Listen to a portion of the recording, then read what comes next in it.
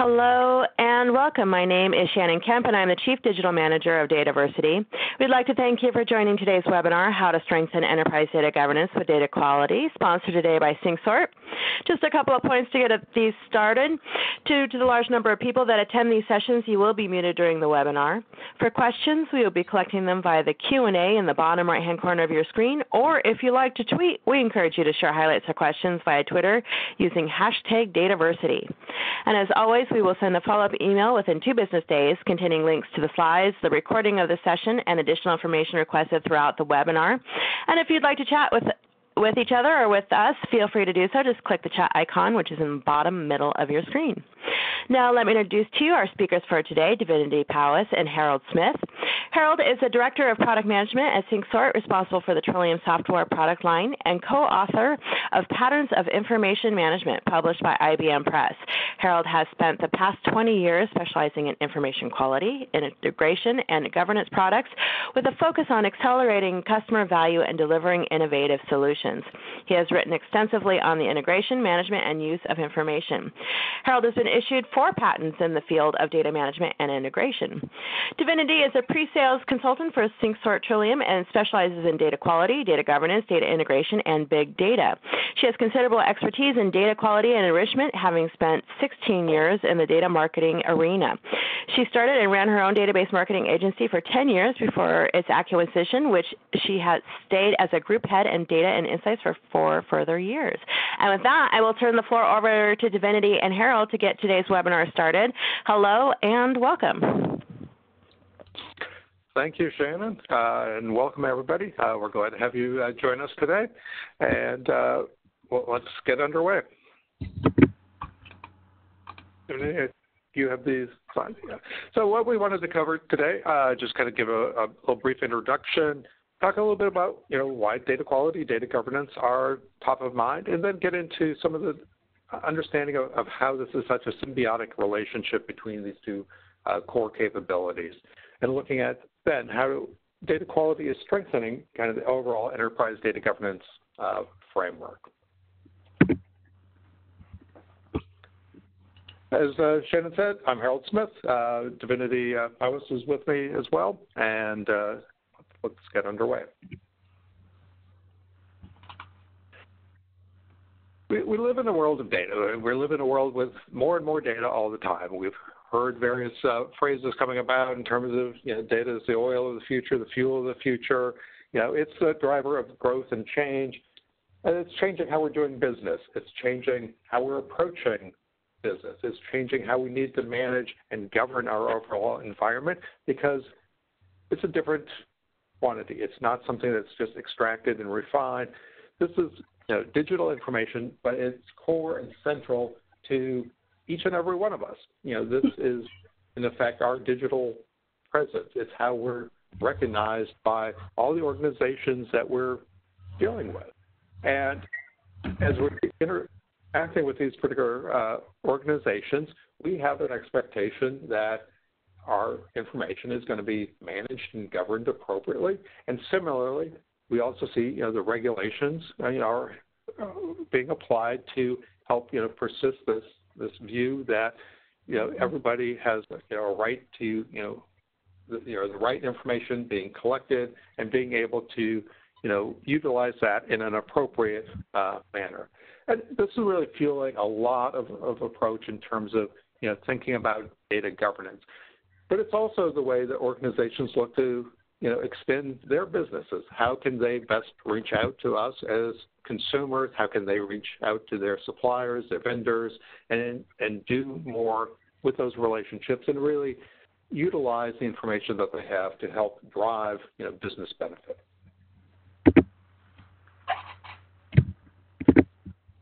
So with that in mind, data governance, data quality are, are really central to this particular mission. And you know, this, this really comes into play in a number of different factors. I mean, first of all, you know, we all know that volume complexity of data is growing, and it's growing in multiple different ways. It's not just structured information anymore. It's unstructured information. It's sensor data. It's all the different feeds coming in from our mobile phones, our Twitter devices, our social media activity.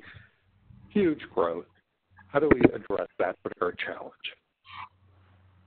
we're also looking at, you know, how do we get more information out of that? You know, with all this data coming in, how can we get more effective correlations? How can we dissect this in a way uh, or analyze this in a way that's going to give us new insights and, and allow us to do our jobs more effectively? So we're in a world where our expectations about what data can do, what you know, the value it can provide is growing. The expectations about how it's going to be managed are growing. Yet at the same time, we're consistently hearing that trust and confidence, you know, generally is declining. There's a large, you know, segment of business leaders who simply don't trust the information that they're getting to be able to drive decisions. And similarly, we see that aspect in terms of trust and confidence extended out into some of the uh, you know, challenges that we as consumers have around data.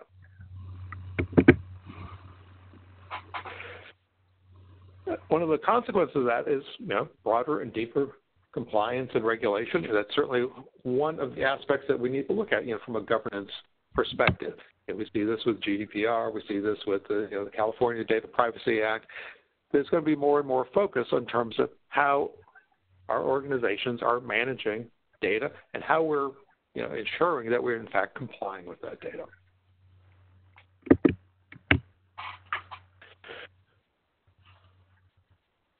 So our, our, our CDO is left with lots of touch points, lots of questions, and it's not just the CDO. I mean, this is across the board. I see this in interactions with our CEO, each and every one of our, our C-level leaders. And I think, you know, in terms of our interactions with various organizations, we see this consistently as well. How do we get a handle on this? You know, and can I trust it? Are we compliant? Do we have the right internal training policies? How do I democratize this data? How do I get people data literate? Huge range of issues. And that's really what you know central data governance is about. How do we begin to wrap our heads around you know these particular challenges? Thanks, Harald. Hi, everyone. It's uh, Davinity here, calling from a windy UK. So, why is data quality so important?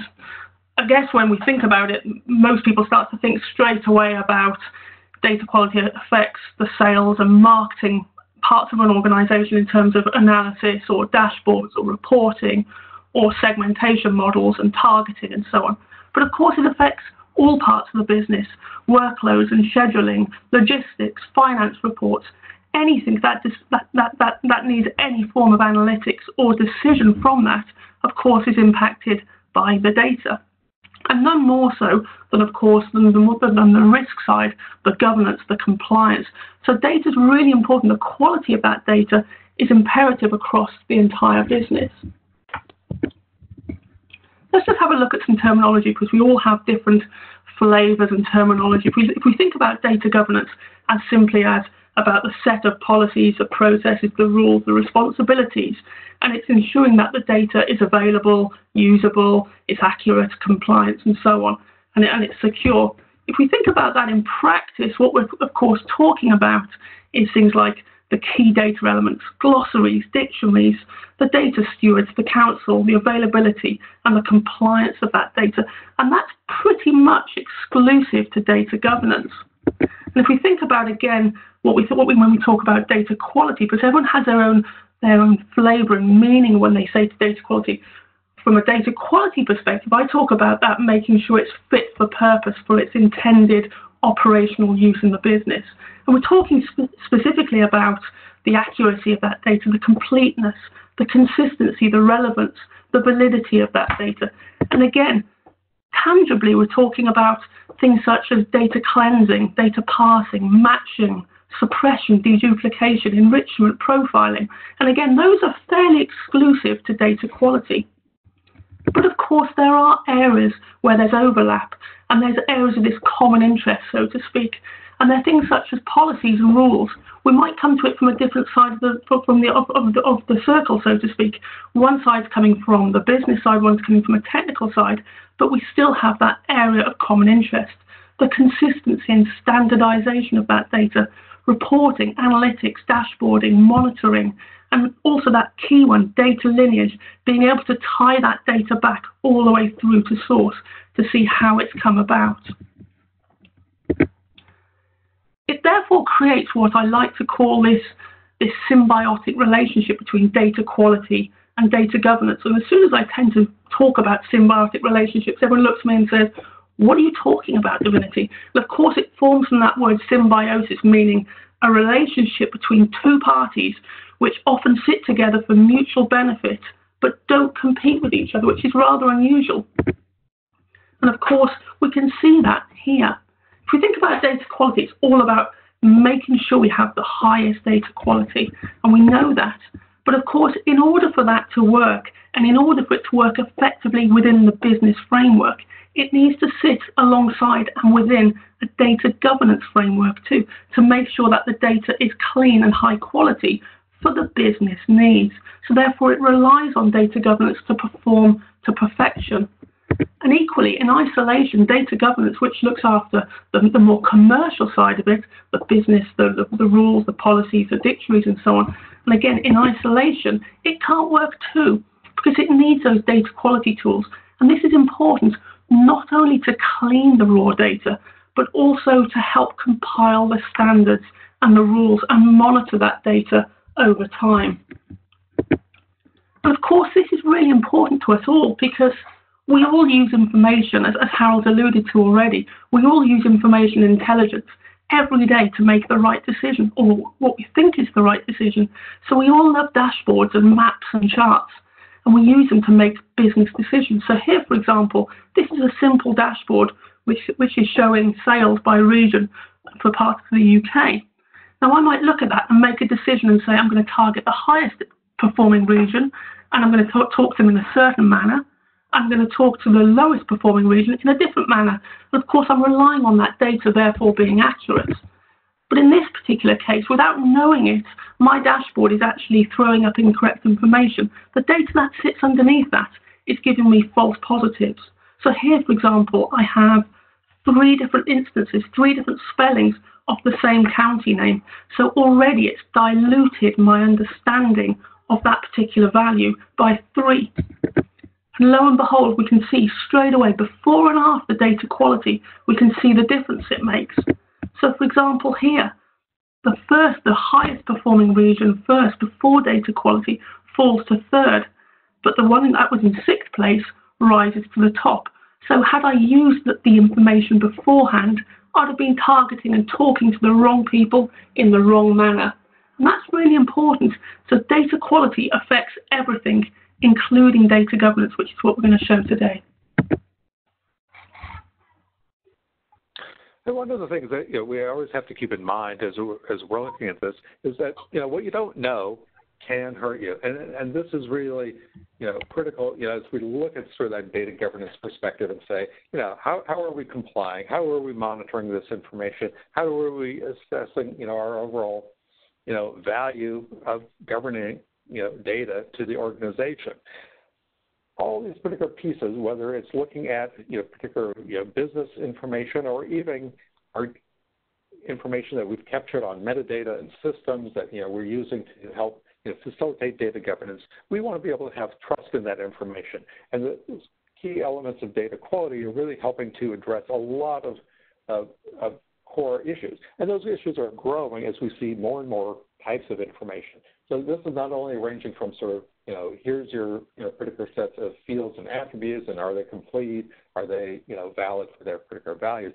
But we're not having to deal with a huge range of information such as sensors and stuff, which may be dropping data. You know, we may have signal loss. We may have noise and extraneous information. You know, particularly as we think about social media data, there's simply a lot of information coming in that may not be relevant for what we're trying to put together here differing levels of aggregations, invalid correlations. How are we understanding, you know, these particular challenges? And the approaches that we begin to take in terms of addressing this, you know, really are, are very dependent on core data quality capabilities.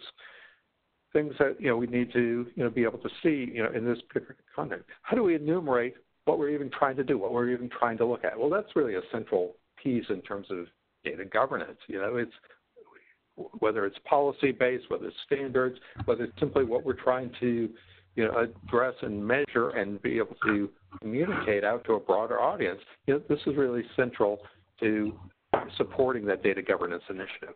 And then it's going to be important for us to be able to acquire that information in a way that we can understand it, discover what it's about, validate it, use in, not just in sort of our traditional dimensions, but really looking at the, the broader holistic issues that we're now facing with this volume and variety of data.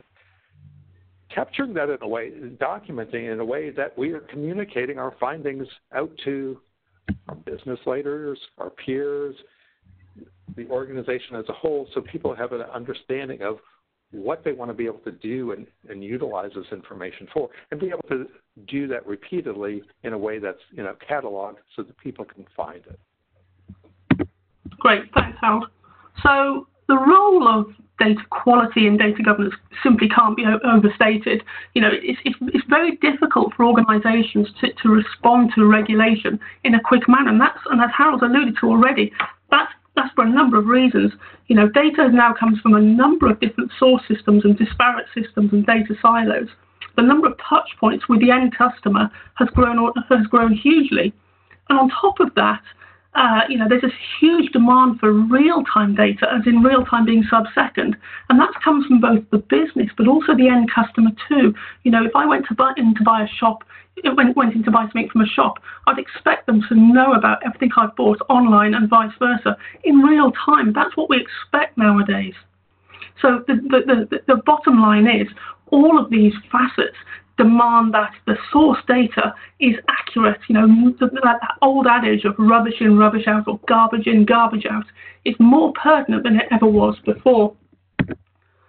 So we all know what the regulations are for, so I'm not going to go through these in any detail. You know, they're there to protect privacy and disclosure, risk management, fraud, fraud prevention, and so on, and anti-money laundering and terrorism and things like that.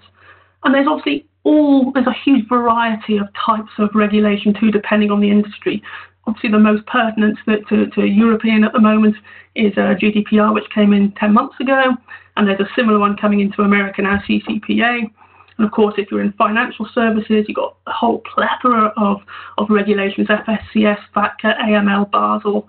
If you're in uh, healthcare, it's HIPAA, and so on. So there's a whole host of them.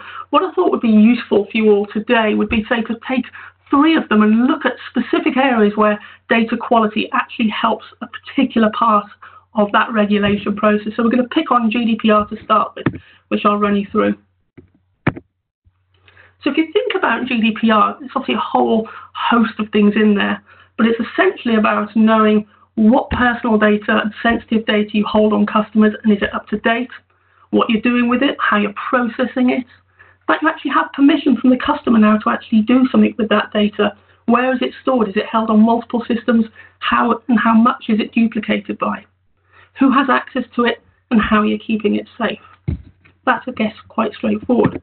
But on top of that, customers, the end customers, have now recognized that they actually have teeth. They have a lot more power than they had before. So they have new demands on the business too. So what do you know about me? The data you hold about me is actually wrong, so you've got to fix it. The so called right to be forgotten, erase all my data for good, I don't want to hear from you again. That has a huge impact for businesses. How my data is being breached, and you've got to be, you've got to be acknowledged within 72 hours. How are you using my data? And an unusual one of demanding that a human deals with your data rather than machine learning or, or, or artificial intelligence. And suddenly, of course, it's serious.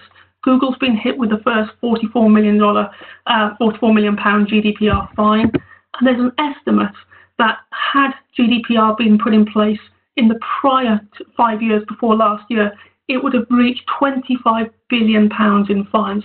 So suddenly, it's very, very serious. So if you think about it from a business perspective and how it actually impacts the business and how data quality strengthens the governance in, in terms of GDPR. Let's have a look at the situation. We've got a customer here. They've, they've interacted through different touch points with a business. So they've interacted with a retail shop, an online shop, uh, a call center, a service center, a website, whatever it is. And of course, as we all do, we've left behind that data trail of different amounts of information, different qualities of information in different formats, different structures. And on top of that, we also have permission clash. So on three or four systems, I've said, yes, I can be communicated, and on one, I haven't. And we all know this. We know this from a personal perspective. And of course, what we're looking for, what we're trying to strive for, is that perfect record, that single view, that golden record, customer 360. Call it what you want. Call it what you want. It's the same thing. That perfect record, which picks up the best bits from each record, but more specifically, manages those permissions. So if we have five records of the same customer, we have that ability to identify that customer by one record and manage those customer preferences and privileges accurately. And of course, if you have single view, we all know the fluffy marketing soft benefits that you get from that. The analytics to start with will be accurate. Accurate analytics allows good segmentation and, and marketing and profiling and targeting and so on. And of course, all the reports, the dashboards, the visualization will be accurate. You won't get those false positives. When we think about single view and high quality data, we often always think about the business benefits. But of course, there are benefits for the customer too, that customer experience. They will be receiving materials and content and service and products that are relevant to them at the right time with the right channels if they've got the right permissions. So their whole experience will be better. So it's about understanding those customers, which allows and enables and leads to, you know, more appropriate communications, sending the right things at the right time. And from a general business perspective, of course, it's simply about making the right decisions, making the best decisions for the business. But GDPR is about much more than simply what data you're holding, what you're doing with it, have I got permissions, and so on. That's a really important tenet of GDPR, don't get me wrong, but it's about more than that as well, because regulation demands proof and evidence and documentation. So these, five, these, these four articles here, you have to prove that you've actually adhered to the principles. You have to prove that you've actually processed that data correctly. You have to provide documentation that you've actually done it in a secure manner and that you've, you've actually understood all that. So it's all very well and good having high quality data. GDPR goes much wider than that, and DQ data quality has to provide proof that you've actually gone through the right measures to provide that data quality. So guess as a, as a, as a, as a, summary, is data quality tools are no longer nice to have. They're absolutely fundamental. They're core. They're critical to any business, especially when it comes to anything to do with data governance. So let's have a look at a few specific areas where DQ helps that compliance. The first is discovery, and that is all about looking at the data that the business has, highlighting where the data is bad. You've got typos, data in the wrong fields, data out of date, incorrect data, or you might have data which doesn't comply to the required format or structure or syntax. A key one, it also exposes where you have personal or sensitive data buried in comments fields or date of birth fields or whatever. So it helps you identify where you actually have key information, but you wouldn't otherwise be able to identify it. And on top of that, as well as exposing and understanding the data, it's also helping build the rules which then work with data governance to actually monitor the, on, the data on an ongoing basis. So it's about auditing and monitoring at the same time. Moving on from discovery, DQ also then, of course, helps put into place the actual mechanisms to clean that data in both real time and batch to actually put into production all those cleaning processes to make sure that that data is as high quality as possible, to make sure that duplications are identified and matched and merged. And on top of that, again, that full traceability, that full data lineage. So at any point in time, as well as actually cleansing and matching and merging that data if necessary, you've actually got proof of what you're actually doing to make sure that you are hitting those GDPR compliances. And the final thing is, of course, is then, is then integrating with other systems. So data quality is all very well and good, but it has to fit into other parts of the business too. So it has to fit in with a data governance tool, it has to fit in with a dashboarding tool or a business intelligence tool or a cube to actually show what the DQ process has done. So that's just a simple snapshot. I mean, just in summary, you know, if you were to sum up GDPR in one sentence, it's simply GDPR mandates the tightest control of customer data possible. And it's fair to say that without DQ, duplication and bad data will generally propagate across the business as it does. And over time, that will inevitably escalate to non compliance with GDPR in some form. And so data quality effectively helps ensure you know, GDPR compliance. That's how important data quality is, in this case, to GDPR.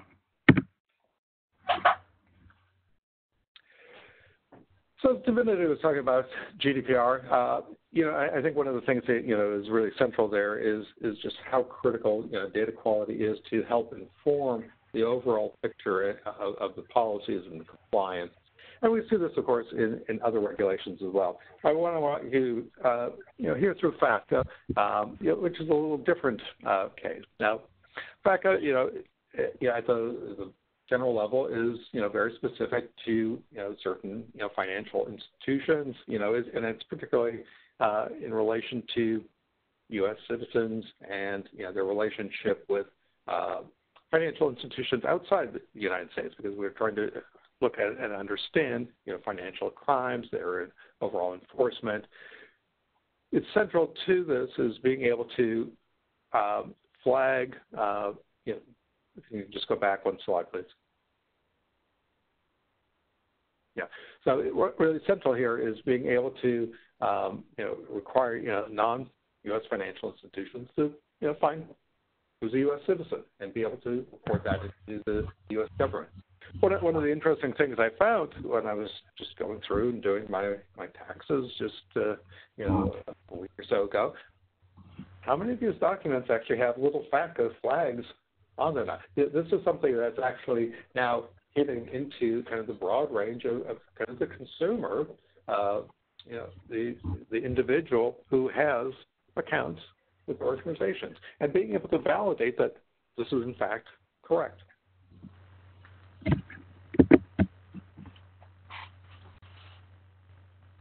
So data quality really becomes sort of a, a, central piece in terms of helping to deliver compliance. And, and you know, I think that you know, while, while, this is you know a specific case, it's it's a strong example of just where you know data quality needs to go beyond just simply identifying you know is this particular field populated or not, but being able to really look at the data in a way that we can help ensure that the information is, is linked together in a way that we can validate core components. It's really all almost looking at how do we get closer to that sense of accuracy, which, which is often a, a challenging dimension to, to look at, but get to the accuracy of the data being held. We need to be able to, you know, address things that are in, in fact conflicting information and conflicting flags and indices that, that really help determine who's who. And once you've dealt with the issues in terms of remediation and harmonizing that, you're at a point where right decisions can be made. In this case, you know, ensuring that the organization is in fact compliant.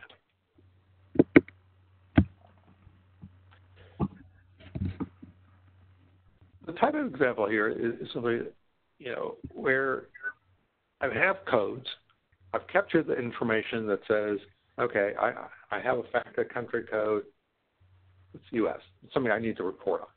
But is that actually correct? And then I think that's where you know we need to be able to go on, beyond just sort of the, the typical, you know, looking at particular values to be able to look at the relationships of information.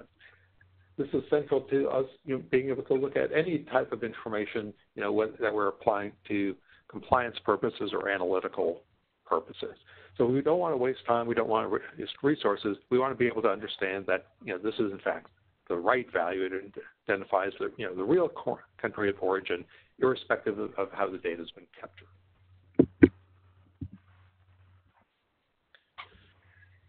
Similarly, we have to be able to look at the correspond, you know, the other relationships. So in a lot of these cases, you're going to need to be able to look at correlations in multiple directions. Whether you're looking to say, okay, this information says it's U.S. Does, does the address information in fact correspond to what I expect it to be? Or if it's not identified as say U.S., what do we actually see? So being able to look at pieces in both directions are really central, you know, to that. To that. Yeah, how do you begin to highlight, uh, you know, some of those corresponding uh, relationships? Next slide. Okay. So we want to be able to identify where duplicates, you know, are, you know, have conflicting values, be able to you know, continue to you know, expand on that particular set of information, look at those particular conflicts, be able to identify this in a way that we can then provide this out to data stewards, subject matter experts who can begin to really look in here and begin to make you know, decisions around this this data and which have particular implications for the regulations we're dealing with.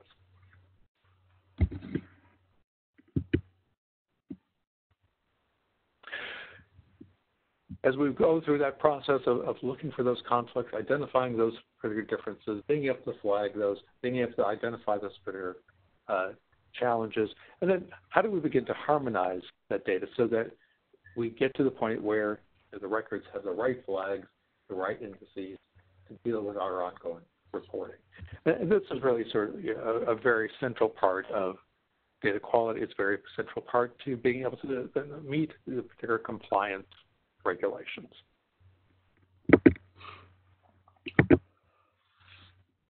So the results out of, out of this, we get a good sense of you know which records are you know implicated, you know have values that we want to be able to address, which things are potentially suspect, which things are not implicated in the particular process.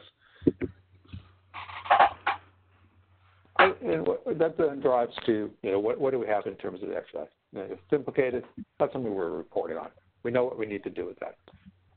It's suspect, how do we approach that? You know, how, how do we get the manual intervention in here to be able to, you know, make sure you know, we, we're making the right particular decisions? If it's not implicated, we should be reporting on it. And again, this goes back to the core process pieces around data governance, being able to make sure that we're getting the right level of compliance applied. This is what our policy says. How are we meeting those particular policies? And we're doing that through capabilities such as core data quality approaches that really help lend themselves to being able to get you know, answers that we need at the right time.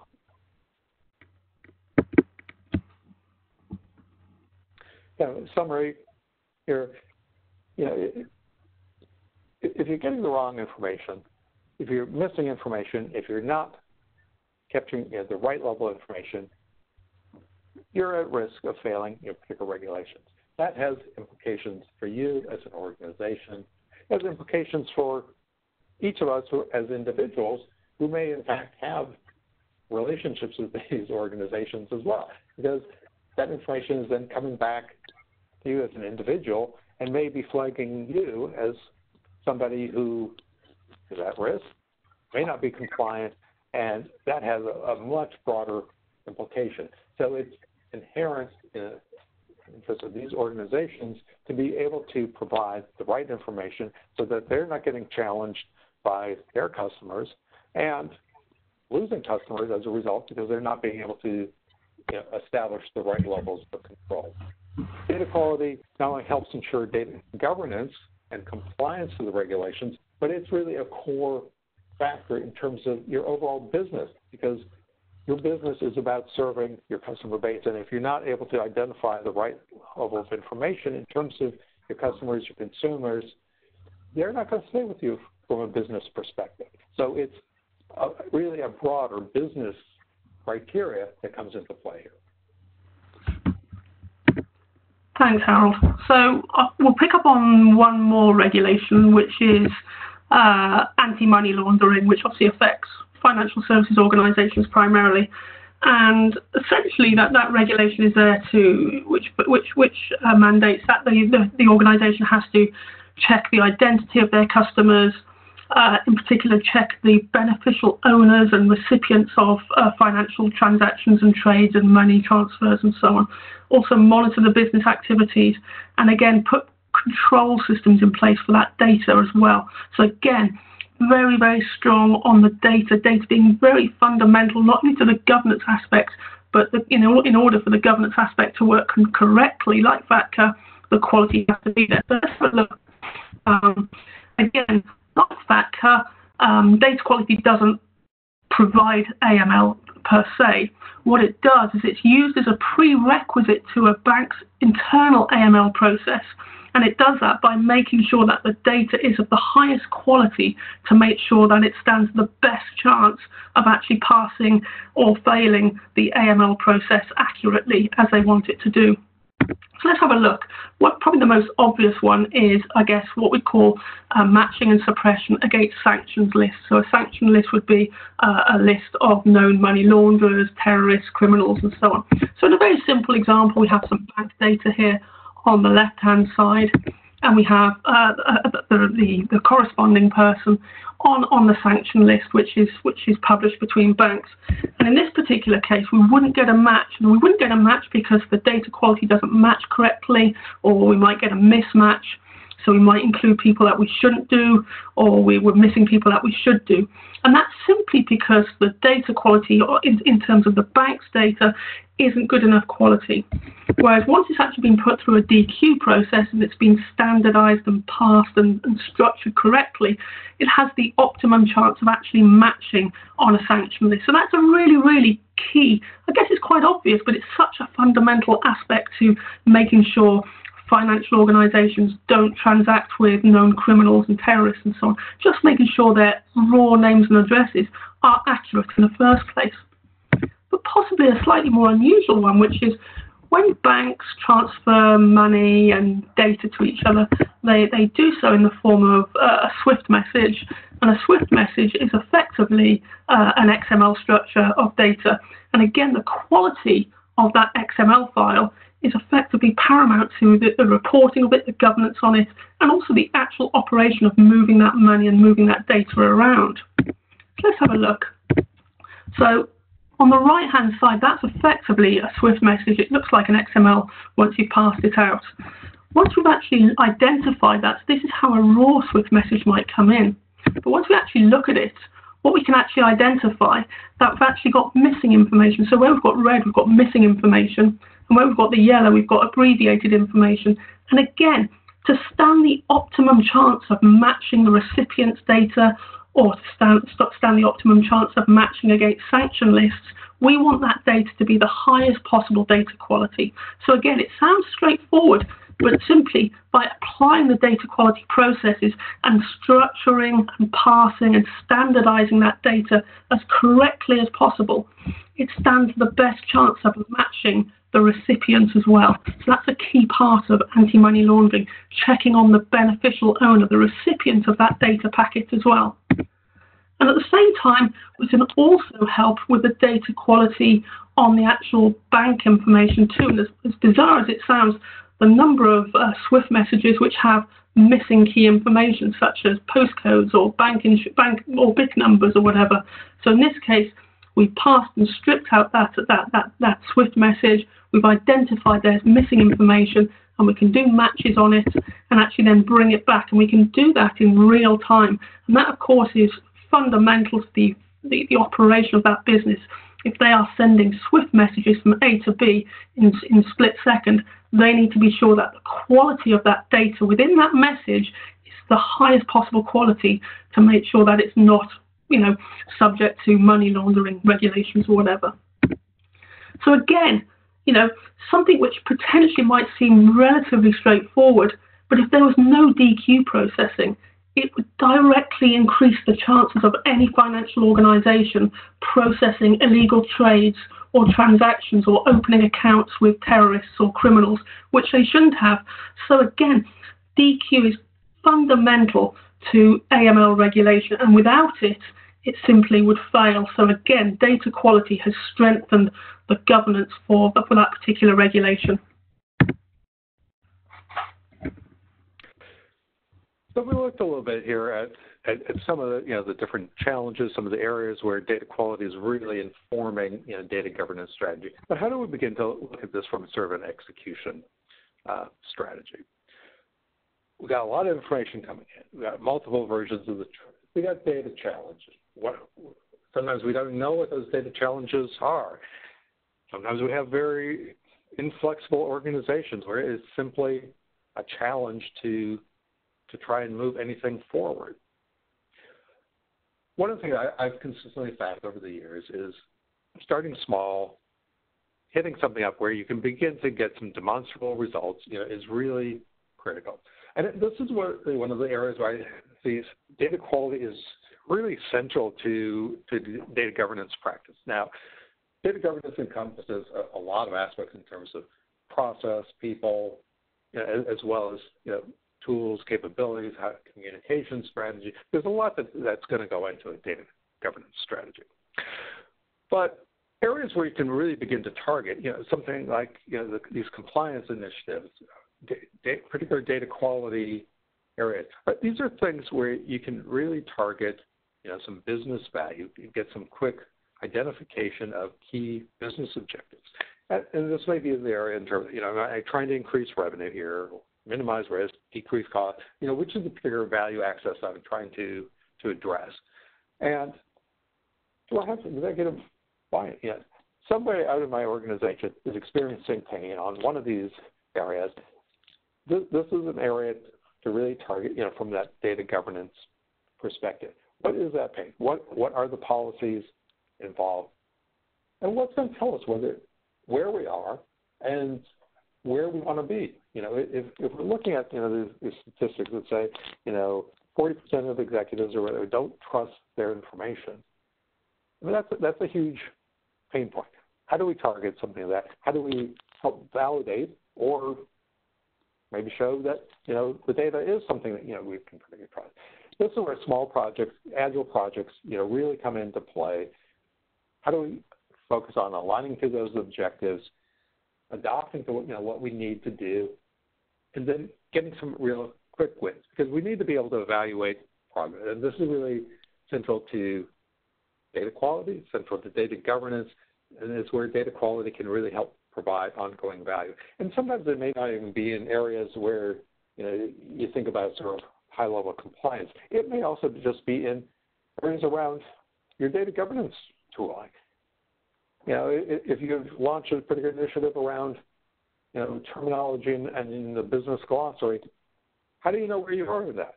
You want to take some measurement around that particular process as well. That, that may be an aspect in terms of basic data quality tool and applied to your data governance tools. Like, where am I in this particular process? How many terms do I have out here? How many of these things have gotten to an improved state? Let me get some uh, quick assessment on some of these things. And, and use that as a way to really establish you know, in effect, a way of, of thinking about how data quality, metrics, the measurements, the monitoring of information give you ongoing insight and, and allow you to really, you know, kind of start from that, you know, that core perspective and be able to expand out. Secondly, we really need to be able to, to make sure that you know we're collaborating in, in this particular process. You know, what what is going to be you know, the, the keys that allow us to understand kind of across business, you know, what we have, are, are addressing, what's the terminology. You know, so governance practices you know, become very critical in here, but it's also very critical just from a standpoint of, the data. And, and, we, and we think about a lot of the discussions around data literacy going on these days. How do we help ensure that everyone in our organization is talking about the same things and doing it in a way that they understand how they're approaching looking at data and getting across some of those organizational barriers and silos and engaging people in that particular process. Policies and standards are going to be very central to that. Being able to communicate out you know, broadly, you know, what people need to be thinking about and looking at. As we get some of those early wins, those quick wins, get that information collected. This is a, something that allows us to get broader buy-in. We can point back to our successes or point back to things that are particular challenges and barriers and continue to build out a structure and culture and ownership around the process, the, the data that's going to help drive the overall business value. Now, it's central in this particular process to really be able to go back, back to the slide, please. It's central in here to really be able to enrich the information that we have. We need to be able to discover what we don't know. It goes back to the point I made you know, very early on. What you don't know can hurt you. And this can encompass everything from issues in terms of bias in the data to samples that simply are not valid for what we're trying to accomplish. It's really critical to be able to make some insights in terms of the data that we're looking at to be able to inform the broader organization about what we've found, where the challenges are, where the issues may be in terms of trust, be able to annotate that to increase that overall insight, and then be able to then share that information out regularly. How, where are the wins that we're getting? What what are we demonstrating out of this particular process? How do we find these particular outcomes that are going to have you know, that ongoing value so that people understand what they can do, how, how they can take, you know, basically get empowered to you know, continue to drive you know, these particular practices.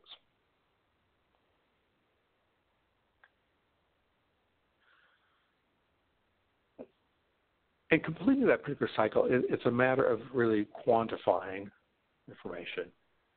We need to understand, you know, hidden activities, you know, where we're getting resource waste, where we're we not seeing transparency, where we're not seeing trust, where's the disconnects in these particular processes. We can begin to see these, you know, as, as we've worked through some of these practices, we begin to establish key baselines. We want to be able to keep that focus continue to drive out metrics that are meaningful. You know, and we may find over time that certain things have value, certain things don't. Being able to, you know, adjust and refine that is really critical in that process.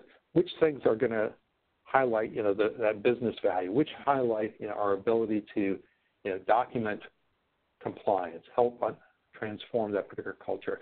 Which things do we need to continuously review? Which things should we stop reviewing because they're not providing any particular value add. So we're, we're focusing on the things that we need to, the information is getting surfaced to you know, address and resolve key issues, look for those particular root causes, and continue to quantify those impact changes.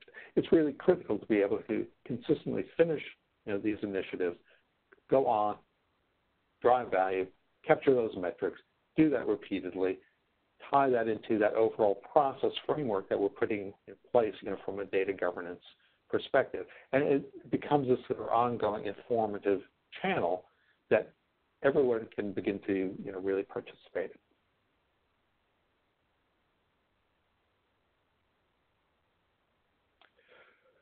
So just kind of summarizing you know, kind of the particular, uh, you know, views. Um, next slide, please. I think that the, uh, sort of the message we really want to be able to convey here is that you know the accuracy of information, you know the quality of data, you know is directly impinging on the downstream activities. Some of that may be you know trigger compliance, and, and you know that's obviously an area that again, data governance really came out of being able to you know help ensure that we're we're addressing these compliance needs. You know, we're reducing risk in our organizations. We're doing that from consistent, you know, valid you know, reporting, dashboarding uh, in terms of these, these particular areas. But it extends broadly out into the organization. It's about customer care. It's about dealing with business initiatives and business directives. Any of these particular things are areas where data quality continues to not only strengthen data governance, strengthen compliance, strengthen our view and trust of information. It's also about being able to drive out sensible business decisions as Davinity says, yeah, this is really a symbiotic relationship. This is about data quality, helping to facilitate what we want to accomplish in data governance. Data governance providing the ongoing framework, processes, people approach that helps inform how we put data quality pieces in practice and give us ongoing value and wins in that critical process. So with that, I would like to, I think, open it up for uh, questions. Davinity and Harald, thank you so much for this great presentation. If you have questions, feel free to submit them in the bottom right hand corner for our great speakers. And just to answer the most commonly asked questions, just a reminder, I will send a follow up email with links to the slides and links to the recording of this presentation by end of day Friday. So, diving in here, you know, can functional localized data quality activities be successful without an enterprise level data governance framework, or is it doomed to fail? Well, I, I certainly don't think it's doomed to fail. Now, there's barriers there. I mean, I, I think, you know, this is where, you know, it, it's so critical to be looking at an organization and, and to, for senior level executives to have an approach in terms of data, you know, where they're seeing that particular value. But we, we've seen this growing, particularly over the last decade, with the advent of the, you know, the chief data officer, uh, data governance council, data governance programs. You know, this is certainly infiltrating, you know, a lot of organizations. It's not necessarily universal, but it's certainly infiltrating. That is going to certainly help the overall piece. With the lack of that, is it doomed to fail? No, I don't think it's doomed to fail. But yeah, there, there's barriers there that are going to be more challenging to overcome. It may be that we're simply able to do it within a particular practice area that may be enough to begin to, you know, get you know, business interest, business buy-in that this is an important piece. Yeah, and it's something that's beyond just compliance, it's beyond regulation, beyond sort of red tape that gets in the way, but get people thinking about this as sort of a, a core business driver. This is something that is actually going to not only reduce risk, reduce costs, but to be able to help drive ongoing revenue value because we're able to make better business decisions. Davinity, anything you want to add to that? No, I think I think I think Harald summed it up really well. I think, I think um, as he pointed out, with the rise of the CDO office in the last decade, it, it, it's seen a fundamental shift. Whereas data before, let's say 10 years ago, uh, sort of fell in the cracks, if you like, between uh, potentially IT departments who, who maintained that data and looked after the systems that ran the data, and then lines of business users and managers and directors who had who had to use that data in some way. It, it sort of felt that there was a, a that that data was falling in the gap in terms of who actually owned probably the most important corporate asset they have. And, and certainly in the last 10 years, and certainly the last couple, with, with the rise of regulations such as uh, GDPR, you know, businesses have really, really come to realize that data is so fundamental and so important that there is this, this, this renewed emphasis on looking after that data so well. And, and that, that's a really good thing to see. Um, but I think, you know, DQ can do so much, but as, as we've tried to allude to today, um, it's still got to try and fit in, in, in, into a framework which is makes the DQ relevant for the business. It's not simply about just cleaning data for the sake of it. It's got to be relevant and pertinent to actually facilitate beneficial beneficial use to the business. You know, and along those same lines, you know, uh, this next question is, you know, what are your recommendations when there is no regulations to re- rely on regarding data quality efforts? Personal experience equates it to herding cats. You know, and, and in almost every webinar that we do uh, here at Dataversity, we always get that question, you know, of, of how do we get executive buy-in? Um, you know, it's just kind of tacks on to that very first question there. I actually, I always think that the, the, the, fun thing, and you know, I've got a sort of perverse interest in data quality, um, but I, I, I actually think data quality is such a tangible thing to show benefits from, whether it be um, from reporting being more accurate or you know stopping showing false positives, to making better decisions, to better targeting, to better ROI models, to better campaigning, to less risk. I, I think data quality is such a, a tangible thing to, to be able to present the benefits. I, have never I've never really struggled to show a, a, business, even if they don't sit in a in a typically uh, regulated industry like you know healthcare or finances or whatever. I've never been never once struggled to sort of show well, this is what you're doing now. Even if it's, um, you know, a, a, delivery company sending out a million packets a year, um, you know, if we can show that they've got X percent duplication, they're sending out packets, you know, too many times, or they're sending, you know, the drivers out inefficiently. If we can show that by applying simple data quality techniques, we can improve their efficiency and reduce their churn and reduce their wastage. I think I think data quality is such a, a, a relatively easy thing to prove because it is so tangible. I, I, I think kind of add, adding on to that, you know, just just you know briefly, uh, one of the things I, I, think that people often struggle with, you know, and, why it's often difficult to get that particular buy-in, has to do with, with, with the terminology and being able to talk to the business in a way that you know is meaningful for the business is, is really a central piece. You know, I, I think coming at it and, and saying, you know, well, you know, we're we're seeing, you know, you know, you know, you know, X amount of records, you know, which you know aren't complete. The, the questions are going to be there. So, you know, what, what, what does this mean, you know, for me at this particular point? You know, as Davinity was saying, you know, being able to talk about the business, the business problem. You know, this means this in terms of our organization.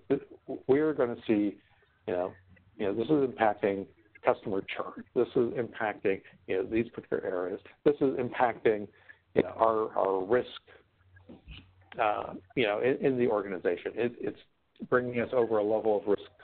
You know, being able to have that sort of terminology, you know, that's really one of those central things I see in terms of you know that strategy around this is being able to talk you know at that language, and and that's uh, I think you know a key part of that sort of data literacy conversation is being able to understand the business and the business language and how data quality fits into that discussion in the organization. Yeah, and I think with things such as just finishing up from that as well, with you know, with wide-reaching regulations such as GDPR, you know, it's woken up the entire industry. It's not just IT or finance or marketing, whatever.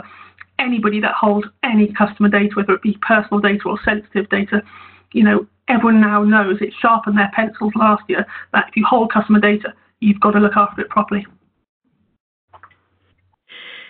And uh, you know, uh, we have lots of great questions coming in. Keep them coming. We'll get to as many as we can before the top of the hour here in just a few minutes. Um, so, you know, I don't want to let this question pass you all by. Uh, what tools do you recommend and have implemented to address data quality and governance?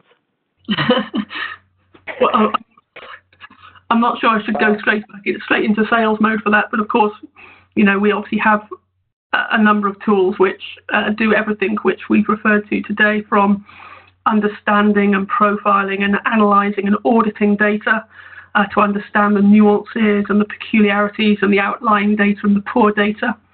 Um, we've got software which, of course, monitors data quality from a, a, business rule perspective to see if it's complying with the with the regulation, data governance, business rules that will have been set up as part of that framework. We have, of course, software that works uh, in both batch, real time, and in big data spaces that can cleanse uh, huge volumes of data from anything from sub-second real time through to hundreds of millions of records. Um, and we're used to working with, with very large, complex data sets, but I'm trying to sort of stay very much away from going straight into sales mode. I love it. it's great. No, it's really good. It's very helpful. So, um, okay, I'm going to try and sleep in one last question here. Um, for any data governance initiative, what is a sequence of activity, activities from a data quality perspective? Well, my, my, my number one answer is what's the question? And, you know, th- th- this is really sort of a, a fundamental piece if I don't know what the question is, it's very hard to be able to say, what's the next thing that I need to know? I want to be able to understand what, what's the question, what's the problem. You know, this goes back to what Davinity pointed out in terms of, you know, fitness of use, fitness for purpose. What's my purpose here? What am I trying to achieve? What are the questions that I need to ask about the data? And when I have an understanding of that the question is, I can begin to frame, well, you know, here are the particular requirements that I have for data. Here's the particular things I need to be able to understand. Now I'm at a point where I can make steps and decisions about what those next activities are. And it may be different. It may simply, I may have some of that answers already. It may be that I need to go back and profile information or begin to look at you know, cross relationships across the data. But I have to understand what I'm trying to accomplish. What's the question? Yeah, agreed. And from a from, very central. Yeah, sorry, just to finish up from a data perspective, that's absolutely right. From a business perspective, of course, you need to know what the right questions are in terms of what the business problem is. From a data perspective, we always start with understanding, always start with profiling and understanding the data, you know, diving into that data. How can you make the right decisions about addressing quality issues? How can you go about remediating that data or making it relevant to the business if you don't even understand what's wrong with it to start with? So everything always, always, always starts with understanding that data. Well, that brings us to the right to the top of the hour. Thank you both so much for this fantastic presentation, and thanks to our attendees for being so engaged in everything we do and all the great questions coming in. Uh, just again, reminder: I will send a follow-up email by end of day Friday for this webinar with links to the slides and links to the recording. And again, and thanks to Syncsort for today's sponsorship to help make all of our webinars happen. Davinity and Harald, thank you so much. Thank you very Thank much you. wherever you are in the world. Joining. Yep, have a great morning, afternoon, evening, wherever you are. Love it. Thanks, everybody. Have a great day. Thank you. Bye now.